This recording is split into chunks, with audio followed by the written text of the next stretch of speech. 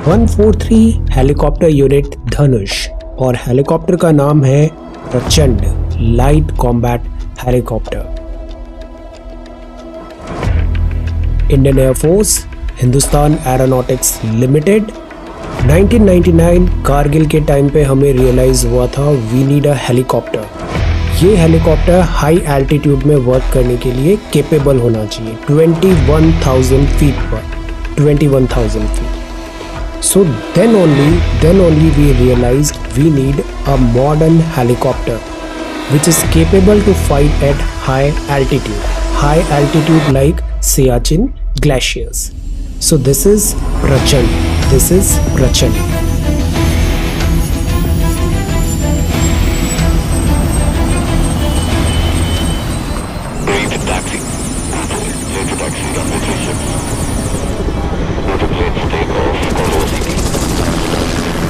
Is a very capable machine. Target is a convoy of tanks and trucks. 20 vehicles, east west. 20 vehicles. 500 kilometre का इसका radius है operating radius Weapons hot. Weapons hot. Fire. lethal weaponry है इसमें and it is a very very capable machine and that is why इसका नाम रखा गया है प्रचंड इसका नाम है प्रचंड so today is 4th of October 2022 day number 277 wonder wonder is the beginning of wisdom. Wonder is the beginning of wisdom. Today we are going to talk about all these important topics. This is telegram quiz. Every day in morning we are having five such multiple choice questions. Join. This is quiz number 150 geography. Pong Dam is constructed over which of the following rivers? The answer is Byas. Tulbul project is associated with the river Jhelum. Bagliar hydroelectric power project is located in Jammu and Kashmir. Tista hydropower project is located in Sikkim. Kalsapar Kalpasar project है fresh water का reservoir है और ये है गुजरात में आज के सवाल है Double cropping in agriculture means raising of what? These are your four options. इसमें से correct क्या होगा? Tell. Who has written the history of Indian agriculture?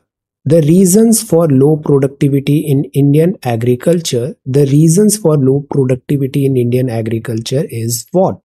Mixed farming क्या होता है और egg mark क्या होता है? So these are five questions for today. आज की वोकेबलरी है प्रोपोनेंट प्रोपोनेंट का मतलब होता है समर्थक a person who actively supports और favours a cause astute astute मतलब वो श्रूड है शार्प है having or showing an ability to accurately assess situations or peoples and turn this to one's advantage repudiate का मतलब होता है अस्वीकार करना refuse to accept or be associated with startling चौंकाने वाला वेरी सरप्राइजिंग एस्टोनिशिंग और रिमार्केबल हिलैरिटी मतलब होता है आनंद extreme amusement especially when expressed by laughter तो ये वोकेबुलरी वर्ड्स हैं आज के लिए. If you come across any other important word write down that word along with its meaning in the comment section down below this is C SAT decision making है. Try to read this situation और इसके बाद आप क्या decision यहाँ पे लोगे? क्या डिसीज़न यहाँ पे आप लोगे? मोस्ट अप्रोप्रिएट डिसीज़न क्या होगा? This is question number two और यहाँ भी इस सिचुएशन में इन सर्कमस्टेंसेज में, आप क्या डिसीज़न लोगे? Your decision making abilities now आज हम जानते हैं ग्लोबल वार्मिंग के बारे में global warming solutions to global warming global warming क्या होता है? जो हमारा एनवायरनमेंट है एटमॉस्फेयर है, ये वार्म अप हो रहा है, ये गर्म हो रहा है। अर्थ है अर्थ के चारों तरफ़ एक ब्लैंकेट है, ये एक ब्लैंकेट है। ये ब्लैंकेट जो है एटमॉस्फेयर का, इसमें टेम्परेचर राइज हो रहा है। So this is called global warming अगर टेम्परेचर एक पर्टिकुलर डिग्री तक है हैबिटेबल है देन इट इज़ गुड बहुत ज़्यादा अगर फ्रोजन हो जाएगा देन ऑल्सो ये सही नहीं होगा। सो so, एक ऑप्टिमम टेम्परेचर होना चाहिए। But because of anthropogenic activities इस टेम्परेचर में राइज देखने को मिला है और फिर उससे ग्लोबल वार्मिंग हो रही है। So global warming is likely to be the greatest threat of our century causes and इसके इफेक्ट्स क्या होते हैं? बिकॉज़ क्लाइमेट चेंज को कंट्रोल करना क्लाइमेट चेंज को एक्सेप्ट करना एंड सॉल्यूशंस फाइंड करना is a must global warming एक फिनोमिनन होता है क्लाइमेट चेंज का, इसमें average temperature of the earth increase होता है। इससे वेदर डिस्टर्बेंसेज होते हैं इकोसिस्टम डिस्टर्बेंसेज होते हैं। ग्लोबल वार्मिंग के कॉजेस क्या है? डिफॉरेस्टेशन माइनिंग फॉसल फ्यूल्स का usage over consumption waste disposal और इंटेंसिव फ़ार्मिंग ग्लोबल वार्मिंग के इफेक्ट्स क्या होते हैं? बायोडाइवर्सिटी में लॉसेज होते हैं ह्यूमंस में लॉसेज होते हैं। ये जो डिसीज बर्डन है disease burden is on rise why because of this global warming बहुत सारी जो डिसीजेज हैं जोनोटिक डिसीजेज हैं, या फिर disease burden non communicable diseases भी हम देखें। ग्लोबल वार्मिंग का वहाँ पे इम्पैक्ट देखने को मिलता है। Not only diseases social health और जियो पोलिटिकल टेंशन भी these are present because of this global warming oceans acidification हो रहा है। वेदर में जैसे इंडियन मॉनसून है इंडियन मॉनसून का टेम्पोरल दिस स्पेटियल और this time spatial and this time जो है इसका वो इम्पैक्ट हुआ है। कभी बहुत बारिश होती है, कभी कम बारिश होती है। So these are the variation climate unpredictive हो गया है एक्सट्रीम वेदर इवेंट्स हो रहे हैं। ग्लोबल वार्मिंग प्रिवेंशन के लिए हमको फोकस करना चाहिए रिन्यूएबल एनर्जी पे सस्टेनेबल इंफ्रा पे energy and water efficiency sustainable agriculture forest management transportation and consumption and recycling पे। सो so, ये सॉल्यूशंस हो सकते हैं ग्लोबल वार्मिंग ग्लोबल वार्मिंग के कुछ टेक्निकल इंजीनियरिंग सॉल्यूशंस भी हो सकते हैं। इंजीनियरिंग सॉल्यूशंस जैसे कि जो सन रेज है उसको हम रिफ्लेक्ट कर दें। ऐसे ह्यूज मिरर्स हम लगा दें, या फिर हम एरोजोल्स का यूज़ करें, ऐसे इंजीनियरिंग सॉल्यूशंस भी पॉसिबल है। आप है doctor Kadambini Bose Ganguly, Kadambini Bose Ganguly freedom fighter आप हैं श्याम जी कृष्ण वर्मा जी फ्रीडम फाइटर थे लॉयर थे जर्नलिस्ट थे, जिन्होंने फाउंड किया था Indian home rule society India house और इंडियन सोशोलॉजिस्ट लंदन में लंदन यूनाइटेड किंगडम में। आप भी एक इंडियन फ्रीडम फाइटर में आपका काफ़ी बड़ा नाम है Shyam ji Krishna Varma. Which is the state bird of Delhi eagle this this this which is the state bird of Delhi और ये जो एनिमल है this animal is critically endangered species of India और इसका नाम है Kashmir Stag ये जो आयुसीएन की लिस्ट होती है, इसमें अलग अलग कैटेगरी है। रेड लिस्ट में आयुसीएन रेड लिस्ट में और एक कैटेगरी होती है critically endangered can you tell what is the meaning of this critically endangered इसकी कंडीशंस क्या होती है? तो दिस इज़ क्रिटिकली एंडेंजर्ड ये कश्मीरी स्टैग है। कश्मीरी स्टैग को हंगुल भी बोलते हैं। ये टेम्परेट ग्रासलैंड में मिलता है वेस्टर्न हिमालय जम्मू एंड कश्मीर का स्टेट एनिमल है। हंगुल सर्वाइविंग एशियाटिक मेंबर है। रेड डियर फैमिली का सोशल एनिमल है। Group of two to eighteen में रहता है। And it is a very beautiful animal but unfortunately this is critically endangered है। सो so, इसका conservation is very very much required okay so ये तो हो गया सोशल मीडिया अपडेट नाउ हम आते हैं द हिंदू न्यूज़पेपर में। आज आंसर राइटिंग का ऑफ़ है और कल द हिंदू भी ऑफ़ लेगा। दिस आयुध पूजा है सो so प्रोबेबली कल भी हम ऑफ़ लेंगे। So this is the Hindu newspaper this is the Hindu newspaper Delhi edition आज जो प्रीवियस आंसर राइटिंग सबमिशन है, उसको हम डिस्कस करेंगे। जो फ़र्स्ट न्यूज़ है फ़र्स्ट न्यूज़ है it is about Nobel peace Nobel prizes और नोबेल प्राइज मिला है फिजियोलॉजी में मेडिसिन में. Understanding evolution through genomes genomes बहुत इंपॉर्टेंट होते हैं. जेनेटिक्स जेनेटिक्स क्या होते हैं? कीज होते हैं जो हमारे बॉडीली बॉडी डिज़ाइन है हमारी जेनेटिक्स है जो हमारे इनहेरिटेंस है डीएनए एटसेट्रा इन जीनोम्स की स्टडी बहुत इंपॉर्टेंट होती है. और ये जो जेन जीन्स होते हैं ना, इनका इवोल्यूशन भी होता है. Over the period of time genetically हम इवॉल्व होते हैं चेंज होते हैं। प्रेजेंटली जो हम फॉर्म में है, हम है homo sapiens we are homo sapiens over the period of time से आज से कुछ थाउज़ेंड ईयर्स बाद प्रोबेबली हम एक डिफरेंट हमारा जेनेटिक इवोल्यूशन पॉसिबल है। स्वीडिश साइंटिस्ट है Svante this has been selected for 2022 के Nobel prize for physiology discovering concerning the genomes of extinct hominins and human evolution human evolution because you know in the अगर हम direct crude manner में देखें तो we were all like we were all like like apes इसके पहले हम जैसे fish fish थे, फिर वर्टिब्रेट हुए, फिर हम एप्स में आए, फिर हमारा दिमाग थोड़ा ज़्यादा चला तो हम इवॉल्व हो गए, और फिर प्रेजेंटली हम ऐसे होमोसेपियंस बने. This is human evolution human evolution so आप 67 हैं genome Neanderthal extinct relative of present day humans तो इनके जीनोम आपने सीक्वेंस किए। डिस्कवरीज के कारण हम जान पाते हैं कि हमारा इवोल्यूशन कैसे हो। बिकॉज़ इट इज़ इंपॉर्टेंट कि we we know our roots we know our roots कि प्रेजेंट फॉर्म ऑफ़ ह्यूमन कैसे इवॉल्व हुआ। सो फॉर दैट रीजन ये जेनेटिक स्टडी इवोल्यूशन की काफ़ी इंपॉर्टेंट है। देन फिजियोलॉजी आपके फादर ने भी मेडिसिन 1982 में जीता था and then discovery concerning this again this genetic discovery okay prostaglandins and biologically active substance के लिए। तो देखो, अब ये न्यूज़ अभी यहाँ पे आया है वर्क इवोल्यूशन का। लेटेस्ट वेट अभी हमको नाम पता चल गया कि this is the name of this person Swedish scientist और आपने जीता है Nobel prize Nobel prize physiology में। अब ये news over the period of time देखना ग्रो होगा। अभी संडे का कोई एडिशन होगा, क्योंकि नोबेल प्राइज केवल फिजियोलॉजी में नहीं होता। आप बताओ नोबेल प्राइज और किन कैटेगरीज में दिया जाता है? क्या मैथ्स में भी नोबेल प्राइज मिलता है? आंसर और कैटेगरीज बताइए जिनमें नोबेल प्राइज मिलता है। वॉट वी विल डू कि अभी हम इसको जस्ट गो थ्रू करते हैं।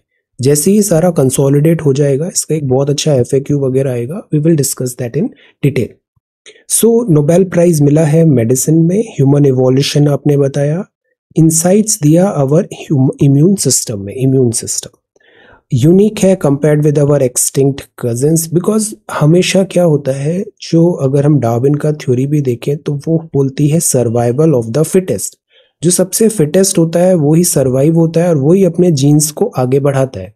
और इस तरीके से जेनेटिकली हम रिफाइन होते हैं रिफाइन होते हैं इवॉल्व होते हैं। सो इम्यूनोलॉजी इन्होंने यहाँ पे देखा फिर डेवलपमेंट ऑफ़ न्यू टेक्निक हुआ रिसर्चर्स को नया जीनोम टेक्निक्स पता चलेगा। Neanderthal Neanderthal and Denisovans Neanderthal, the bones were first discovered in mid 19th century. उनके डीएनए अनलॉक किए। तो नियंडरथल ऐसा माना जाता है क्लोजेस्ट रिलेटिव है। काफ़ी साल पहले दिस वाज लाइक एक इवोल्यूशनरी पैटर्न था नियंडरथल बट फिर ये सरवाइव नहीं हुआ। जो सरवाइव हुआ वो था होमोसेपियंस और होमोसेपियंस मतलब कि हम। सो so, ये है स्वीडिश साइंटिस्ट का work then this is Iranian flight and remove online baiting ads centre tells TV channel news websites baiting baiting so remove online baiting ads because at times इसमें gullible users के साथ frauds भी होते हैं और certain type of other difficulties आती है। Garba is an emotion a girl performing garba traditional dance है गुजरात का।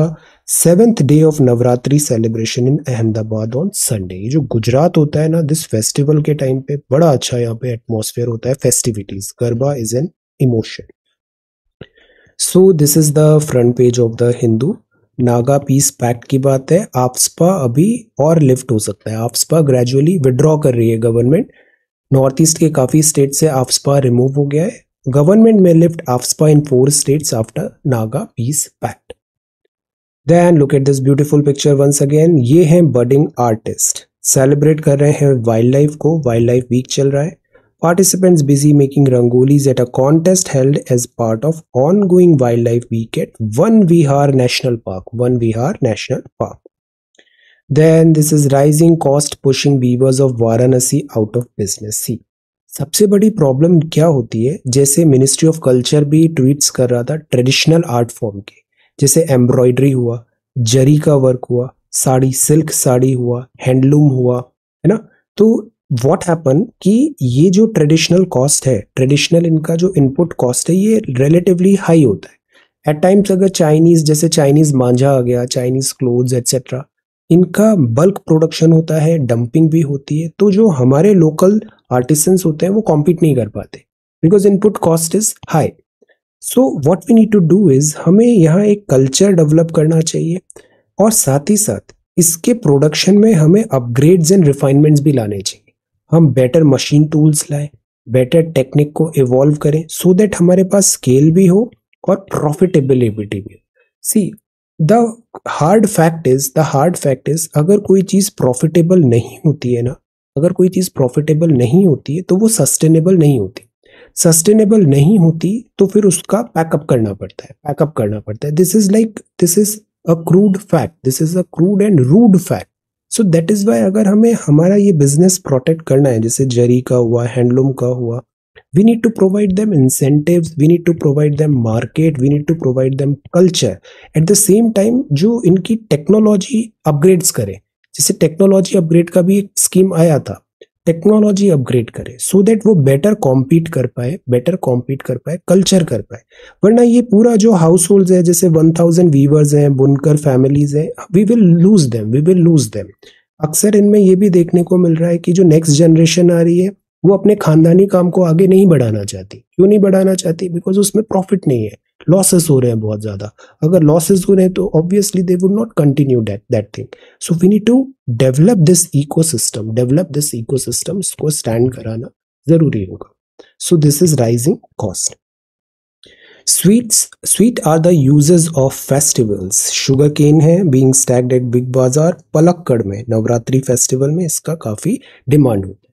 तो this is sugar cane sugar cane sugar cane producing दो मेजर स्टेट्स कौन से हैं इंडिया में? Tell sugar cane sugar cane बहुत फेवरेट है यूपीएससी का, शुगर केन बायोफ्यूल से भी कनेक्टेड है, शुगर सप्लाई तो है ही, और साथ ही साथ ये काफ़ी वाटर इंटेंसिव क्रॉप है वाटर इंटेंसिव क्रॉप है. तो अक्सर इकोलॉजिकल चैलेंजेस यहाँ पे आते हैं. Sweet are the uses of festivals then every drop counts अब सी कल मैंने आपको जल जीवन मिशन के बारे में बताया था, आज उसी पे बेस्ड एडिटोरियल हो गया। तो ये तरीका होता है न्यूज़पेपर का।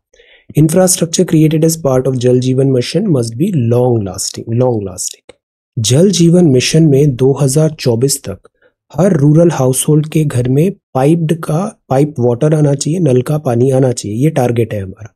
और इसमें अच्छा खासा आउटले किया है अभी गवर्नमेंट ऑफ़ इंडिया ने बजट में। So that is why this scheme is very very very important 37 percent rise हुआ है स्कीम में 55 लीटर पानी हर पोर्टेबल वाटर मतलब पीने योग्य पानी हर रूरल हाउस होल्ड को दिया जाएगा।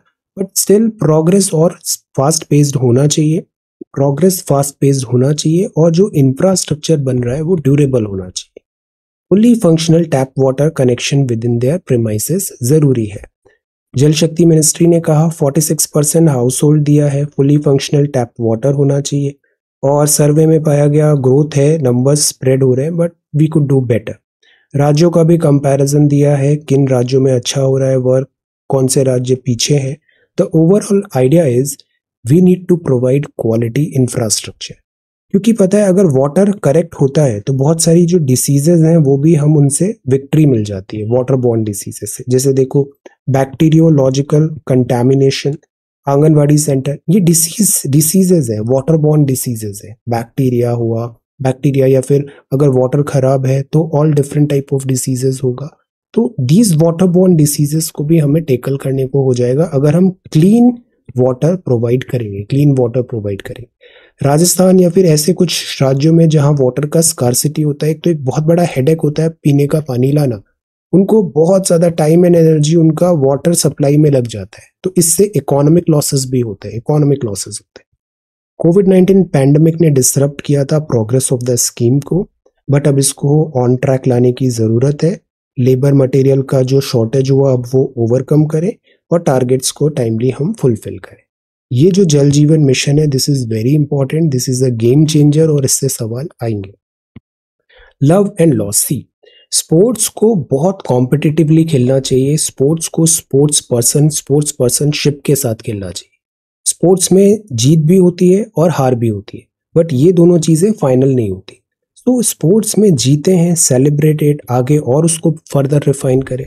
हारे हैं, उसको भी एक्सेप्ट करो बिकॉज़ अक्सर क्या होता है, हमें जीतना बस सिखाया जाता है। हमें ये नहीं सिखाया जाता कि हार को कैसे टेकल करना है फेलियर को कैसे टेकल करना है। Talk to so many students सब they all want to become achiever they all want to become like बहुत glorified successful career this and that they are not. Since school, they are not. They are not taught how to handle this failure, how to handle losses, how to handle failure, how to handle no. ये चीज़ें किसी को नहीं सिखाई जाती और ये ज़रूरी है सिखाना। बिकॉज़ ये जो चीज़ होता है, ये part and parcel of life होता है।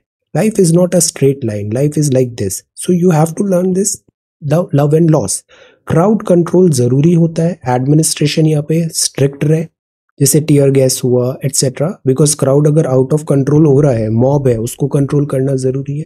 हम बात कर रहे हैं ऐसे स्पोर्ट्स टूर्नामेंट में, जहाँ पर टीम हारी तो स्टैम्पेड हो गया and hundred plus people loss their life so ये चीज़ नहीं होना चाहिए। स्पोर्ट्स को स्पोर्ट्स की तरह ही लेना चाहिए। इट इज़ नॉट लाइफ और डेथ स्पोर्ट्स को स्पोर्ट्स की तरह लेना चाहिए। सो द आइडिया इज़ कि हम इसमें एडमिनिस्ट्रेटिवली भी अगर हम देखें disaster management stampede control drone के थ्रू मॉनिटरिंग सेंस उनको हम मॉनिटर uh, करें उनका रियल टाइम मॉनिटरिंग करें वहाँ पे। आर्टिफिशियल इंटेलिजेंस डेटा एनालिसिस के थ्रू देखें कि कहाँ क्राउड डिस ओरिएंटेड हो रहा है उसको क्विकली हम फोर्स वहाँ पे डिप्लॉय करके कंट्रोल करें मॉब को। ये चीज़ें भी होना चाहिए but at the same time जो इतना पैशन है which is good football cricket passion is good but sports is sports this thing we need to understand then with the rupee under pressure what next तो ये लिखा है D Subba Rao साहब ने, अब गवर्नर रहे हैं Reserve Bank of India 2008 to 13 ये जो टाइम था ना, ये भी टाइम रेसेशन का टाइम था रेसेशन का टाइम था. तो आपने अपने इंसाइट्स के थ्रू बताया है, क्योंकि 2023 में भी ऐसी बातें चल रही है रेसेशन की, क्या हमारा वे फॉरवर्ड होना चाहिए? तो the idea is quantitative measure of vulnerability करना डिफ़िकल्ट है. वलनरेबिलिटी है, उसको मेजर करना डिफ़िकल्ट है रुपी अंडर प्रेशर है डेप्रिशिएट हुआ है 80 पे पहुँच गया पॉसिबली और डिक्लाइन होगा ये। बट चीज़ें बेहतर है 2008-13 के कंपैरिजन 2008-13 में एक तो हमारा फॉरेक्स रिज़र्व इतना स्ट्रांग नहीं था। इंडिया भी इकोनॉमिकली इतना स्ट्रांग नहीं था जितना आज की डेट में। So we are better prepare to fight with this recession rupee is falling इसके दो फैक्टर्स है। वाइडनिंग करंट अकाउंट डेफिसिट हो रहा है। C A widening current account deficit और इसका सबसे बड़ा रीजन है प्राइस ऑफ़ ऑयल हाई हो गया और ऑयल हम इंपोर्ट कराते हैं। इंपोर्ट ज़्यादा करा रहे हैं एक्सपोर्ट कम कर रहे हैं तो current account deficit second capital outflow हो रहा है। वर्ल्ड में रेसेशनरी टेंडेंसी दिख रही है। यूएस ने एग्रेसिव रेट्स हाइक किए तो फ़्लाइट ऑफ़ कैपिटल है। चाहे वो इंडिया हो जापान हो साउथ कोरिया हो स्पेशली ये डेवलपिंग कंट्रीज़ से इनके स्टॉक मार्केट से पैसा का फ़्लाइट हो रहा है back to United States of America और उससे रुपी भी स्ट्रेंथन नहीं हो रहा वीकन हो रहा है और स्टॉक मार्केट्स भी रेड पे जा रहे हैं। तो ये दो रीजन है। अब बात आती है, जैसे 2013 में टेपर टेंट्रम्स किए थे इजी मॉनेटरी पॉलिसी थी पॉलिसी चेंज किया था, ये एक्चुअली वर्क जो होता है वर्क जो होता है यूनाइटेड स्टेट्स का जो फेडरल बैंक है but United States actually it's such a powerful country when it comes to economy and otherwise भी, अगर यूनाइटेड स्टेट्स में पॉलिसी चेंजेस होते हैं डॉलर में पॉलिसी चेंजेस होते हैं तो उसका इम्पैक्ट पूरे वर्ल्ड में देखने को मिलता है। और सेम चीज़ अभी हो रहा है। तो अभी जो भी सर्कमस्टेंसेज हैं it is not internal it is not internal these are primarily external external factors है। इंटरनली तो हम अभी भी काफ़ी रॉबुस्ट है। We are very robust domestic demand है हमारे यहाँ डोमेस्टिक इन्वेस्टमेंट भी बहुत हो रहा है stock markets etcetera retail investors domestically ground home ground पे we are on strong footing but जो वर्ल्ड की जो ये हेडविंड्स है, ये हमारे लिए कॉज ऑफ़ वरी है। अगर हम मैक्रो सिचुएशन देखें तो पहले काफ़ी फ्रजाइल थी बट अभी इंडिया का चेस्ट ऑफ़ रिज़र्व भी अच्छा है। वॉर चेस्ट अच्छा है, काफ़ी पैसा है अभी हमारे पास फॉरेक्स रिज़र्व में हम इसको हैंडल कर लेंगे। बट अब प्रॉब्लम ये है कि यूक्रेन क्राइसिस किस डायरेक्शन में जाएगा, ताइवान क्राइसिस किस डायरेक्शन में जाएगा, यूएस और यूरोप में जो रिसेशन है वो किस डायरेक्शन में जाएगा। ये एक्सटर्नल फैक्टर डिसाइड करेंगे हमारे हमारे रुपी और हमारी इकोनॉमिक हेल्थ को। करंट अकाउंट डेफिसिट है करंट अकाउंट डेफिसिट है कोविड नाइन्टीन ने भी चीज़ें डिफ़िकल्ट की। वलनरेबिलिटी ये होगी कि हम फ़िज़िकल कंसोलिडेशन करें फ़िज़िकल कंसोलिडेशन करें। और इसलिए भी एक टर्म जो अभी न्यूज़ में था ना कि जैसे फ्री बीज एट्सेट्रा है। फ्रीबीज से क्या होता है? जैसे मैंने आपको इकोनॉमी में एक अपॉर्चुनिटी कॉस्ट पढ़ाया था। अपॉर्चुनिटी कॉस्ट पढ़ाया था। हर काम को करने का एक कॉस्ट होता है। आपको पता है, इतने सारे लोगों ने टैक्स पे किया है। ये जो टैक्स पे किया है ना, इसीलिए हमारे पास ये हेलीकॉप्टर प्रचंड है। इसीलिए हमारी इतनी रोड्स बन रही है। इसीलिए हमारे इतने सारे जो वेलफेयर के काम चल रहे हैं, चाहे वो जल जीवन मिशन हो या फिर सेवरल अदर ग्रामीण कल्याण अन्न योजना रोड्स लाइट्स ट्रैफ़िक ये सब टैक्स पेयर मनी से आता है। ये सब टैक्स पेयर मनी से आता है। तो अगर आपको कोई चीज़ फ्री ऑफ़ कॉस्ट मिल रही है इसका मतलब ये है कि somebody else has paid for that thing. Somebody else has paid for that thing. उसने अपने टैक्स से आपको ये सर्विसेज़ प्रोवाइड किए। तो ये फिर अपॉर्चुनिटी कॉस्ट हो जाती। है so always we should have this जैसे मैं आपको हमेशा बताता हूँ गवर्नमेंट प्रॉपर्टीज़ को आप डैमेज करते हो।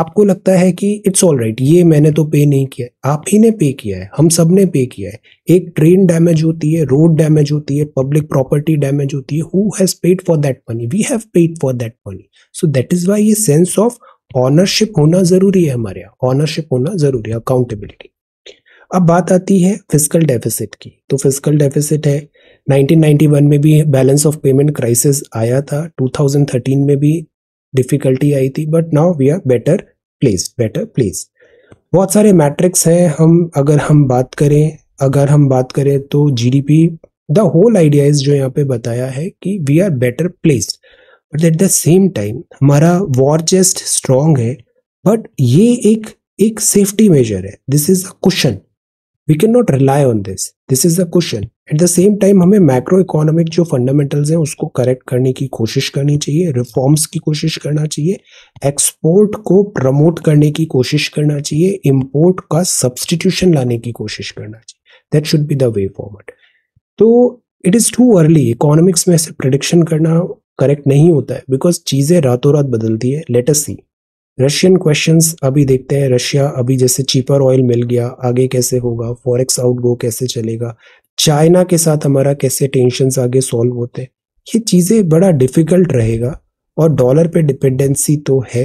लेटस सी इसमें इकोनॉमी अब किस डायरेक्शन में आगे जाती है? Rupee under pressure what next decisive shift in the discourse on abortion rights इसको हमने अच्छे डिटेल में देख लिया। सुप्रीम कोर्ट का जो डिसीज़न आया है प्रोग्रेसिव डिसीज़न है प्रोग्रेसिव डिसीज़न है और ये रिक्वायर्ड भी था।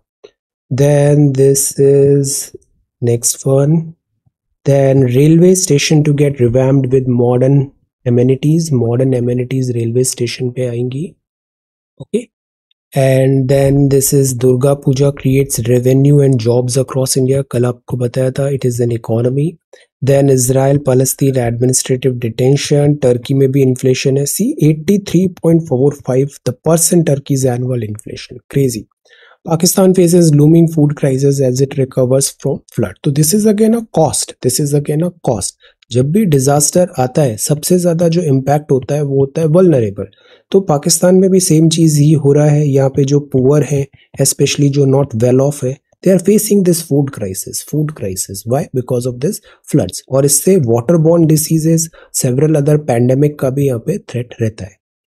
ये मीडिएशन बिल है, इसमें भी वेट एंड वॉच अभी पार्लियामेंट्री स्टैंडिंग कमेटी ने बस एक रिकमेंडेशन किया है ड्राफ्ट बिल किया है मीडिएशन बिल में। वेट एंड वॉच इसमें अभी बहुत चेंजेस आई नहीं। 2021 का इंट्रोड्यूस हुआ था राज्यसभा में पार्लियामेंट्री स्टैंडिंग कमेटी ने इसको रिव्यू करने को कहा है, राज्यसभा ने इसको अभी जुलाई तेरह 2022 को सबमिट किया है। बिल में क्या प्रपोजल्स हैं? मैंडेटरी मीडिएशन है बिफोर लिटिगेशन एक्चुअली क्या होता है? जब भी कोई डिस्प्यूट होता है एक तरीका होता है कि आप लिटिगेशन करो कोर्ट जाओ, उसको फिर अपील करो this and that it is a very lengthy process time consuming process then it's में काफ़ी पैसा भी खर्च होता है।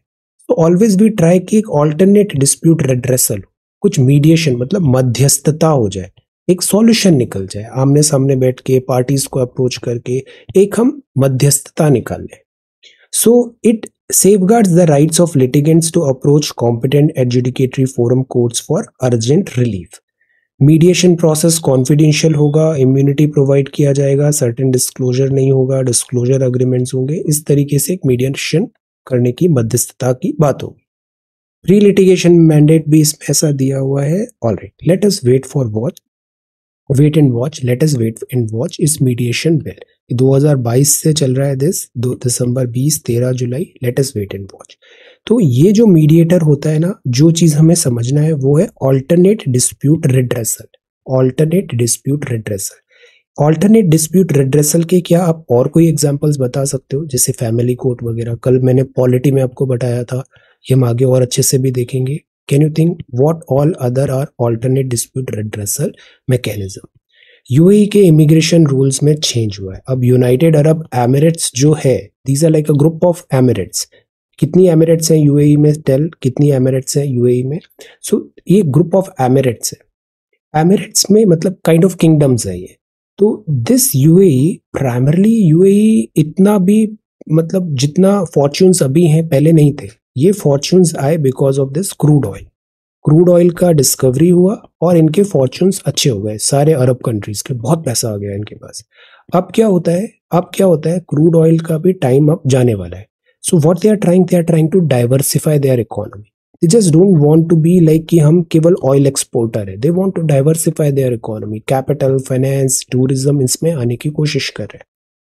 तो इन्होंने अभी तीन कैटेगरी का वीज़ा है. Green visa golden visa and this entry visa तो एक एंट्री वीज़ा है जिसमें do not require a host to sponsor for visitors all entry visas will now be available for single multiple entries valid रहेंगे sixty days like this thirty days के tourism आएगा। Because बाहर से कोई UAE में आएगा एक्सपेंडिचर्स करेगा तो वहाँ की जीडीपी को फ़ायदा होगा। So this is you UAE's plan to restructure है एंट्री रेसिडेंस सिस्टम भी कर रहा है, इससे वहाँ की इकोनॉमी को बूस्ट करेगा। सी ये सारी चीज़ें कीप एवरीथिंग असाइड ये जो इकोनॉमी होती है, ये प्राइमरी फैक्टर होता है कंट्रीज़ के कंट्रीज़ के डिसीज़न मेकिंग यूएई इसराइल के साथ भी अच्छी फ्रेंडशिप हो रही है। Again the reason is economy economy economy is required तो इससे इंडियंस को भी बेनिफिट होगा। जैसे इंडियन एक्सपैट्रियट कम्युनिटी है साढ़े तीन मिलियन की थर्टी परसेंट यूएई की पॉपुलेशन हम इंडियंस ही हैं।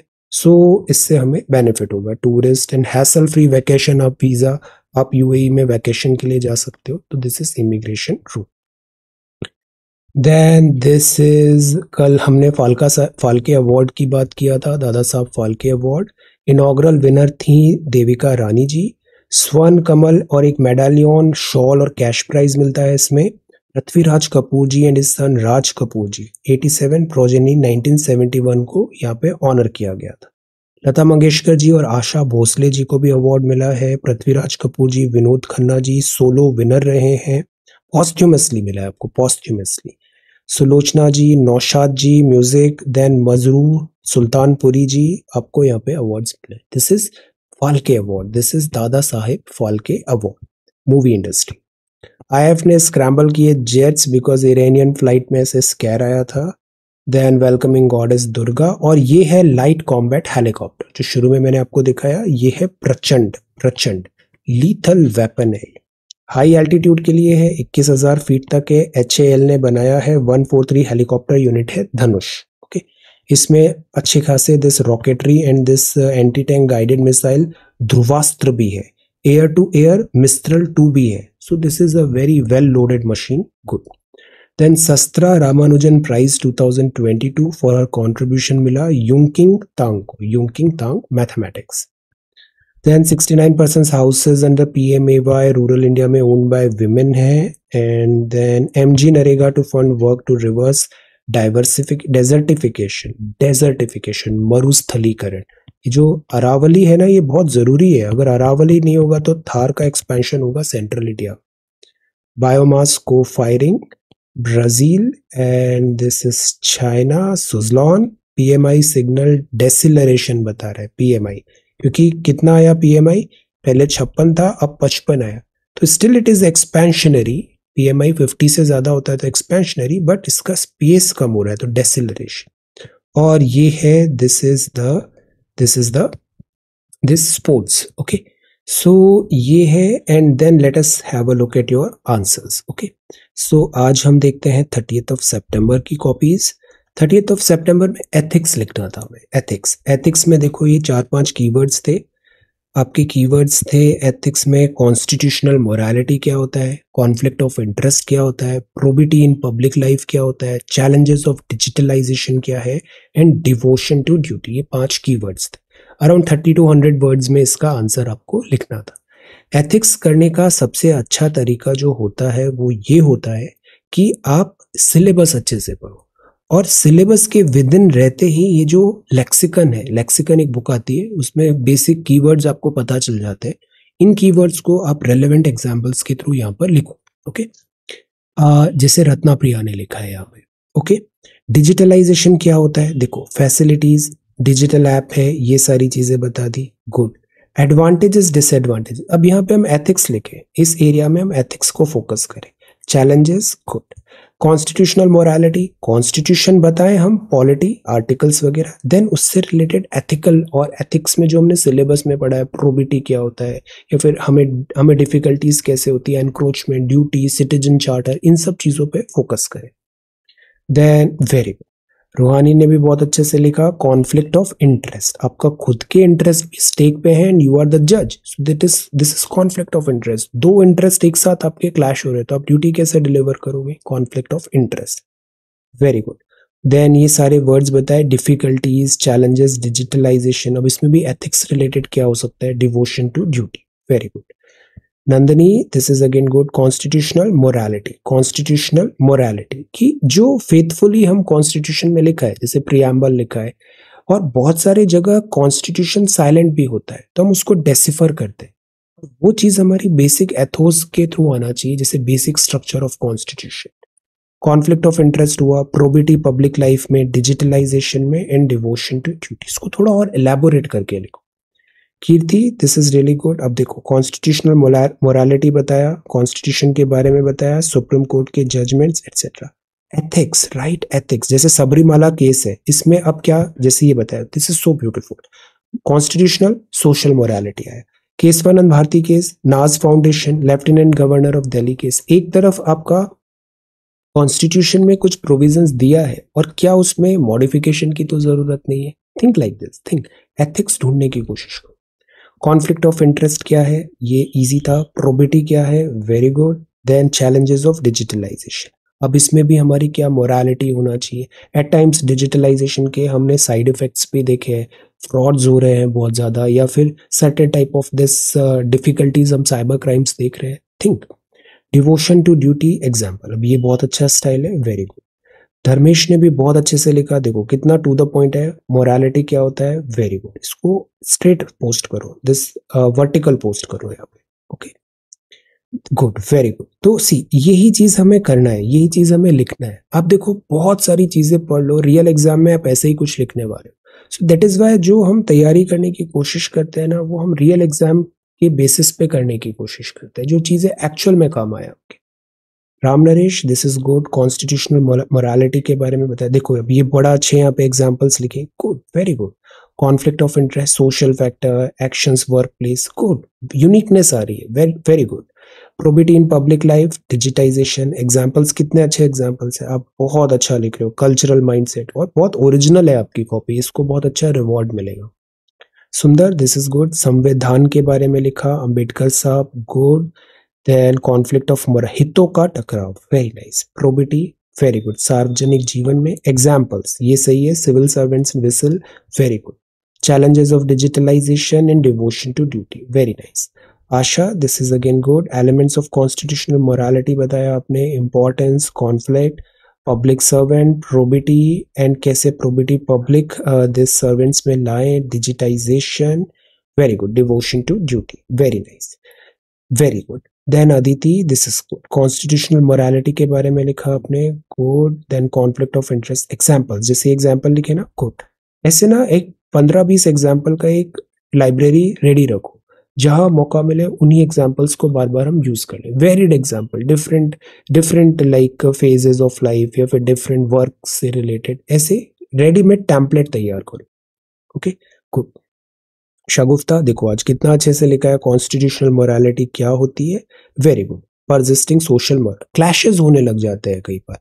कॉन्फ्लिक्ट ऑफ़ इंटरेस्ट होता है एग्ज़ाम्पल सिविल सर्वेंट का एग्ज़ाम्पल लिखा प्रोबिटी प्रोबिटी के भी सारे कीवर्ड्स बताए good very good bedrock digitalization अब डिजिटलाइजेशन में भी एथिक्स होना बहुत ज़रूरी है। So I am trying to say कि हम जो भी लिखे ना, उसमें एथिक्स का सिलेबस रिफ्लेक्ट करे तो कभी भी हमारा साइडवेज नहीं जाएगा topic devotion to duty this is really good अब जैसे ये एग्जाम्पल्स लिखी बड़े अच्छे एग्जाम्पल्स हैं तो आप भी ऐसा एक लाइब्रेरी तैयार हो sample this is good constitutional morality क्या होता है? कॉन्फ्लिक्ट ऑफ़ इंटरेस्ट क्या होता है? गुड अब जैसे नेपोटिज्म वगैरह good private business probity challenges challenges क्या आते हैं? फाइंड एथिक्स फाइंड एथिक्स के keywords then this is Puja constitutional morality elements क्या है? Conflict of interest challenges very nice see ये एग्जाम्पल्स यहाँ पे लिखे very good Shikha this is good see constitution conflict probity challenges good examples think examples और examples ज़रूरी नहीं, बहुत हाई फाई एग्जाम्पल्स लिखे. सिंपल सिंपल एग्जाम्पल्स भी हो सकते हैं. अमरजीत, संवैधानिक नैतिकता के बारे में लिखा गुड हितों का टकराव है अंतरात्मा की आवाज़ वेरी गुड कानून, सार्वजनिक वेरी गुड जवाबदेही ज़रूरी है, कर्तव्य के प्रति समर्पण ज़रूरी है। देन कॉन्स्टिट्यूशनल मोरालिटी हजिंदर आपकी कॉपी बहुत अच्छी हो गई है and it is a very like sorted copy presentation बहुत अच्छा हो गया। कंटेंट इंपॉर्टेंट होता है प्रेजेंटेशन भी बहुत इंपॉर्टेंट होता है। आपका प्रेजेंटेशन भी बहुत अच्छा है कंटेंट भी बहुत अच्छा है very good devotion very good अब सी ये style is good examples Shubhangi this is good conflict of interest क्या होता है? See again this is a very beautiful copy this is good breach of trust and all good self dealing family interest outside employment politics favouritism very nice this is good अब examples भी आपने यहाँ पे लिखे. Good very good सी कितना अच्छा note तैयार कर लिया है हमने. Very nice very nice good अब इसी से हमारी प्रैक्टिस हो गई और आप जब देखना रियल एग्ज़ाम में भी लिखने जाओगे मेंस का, आप मोर लेस ऐसा ही वहाँ पे रिप्रोड्यूस करोगे आंसर कॉपी और ये नेचुरल भी रहेगा रिवॉर्डिंग भी रहेगी। Neha very good constitutional morality देखो कितने अच्छे से बताया यहाँ पे। This style is so good elements क्या है? How to uphold constitutional morality ये भी बहुत अच्छा स्टाइल होता है। सवाल पूछ के उसका जवाब दो। गुड कॉन्फ्लिक्ट ऑफ़ इंटरेस्ट बताया देन कैसे उसको चेक करें? तो अगेन दिस टेल्स आप पे प्रॉब्लम सॉल्विंग एटीट्यूड है good then this is good very nice Satendra, बहुत अच्छी कॉपी है, संवैधानिक नैतिकता के बारे में बताया, हितों का टकराव है, सार्वजनिक जीवन में देन ईमानदारी डिजिटली करेक्ट अब इसमें भी साइबर क्राइम्स होते हैं, वैसा लिखो।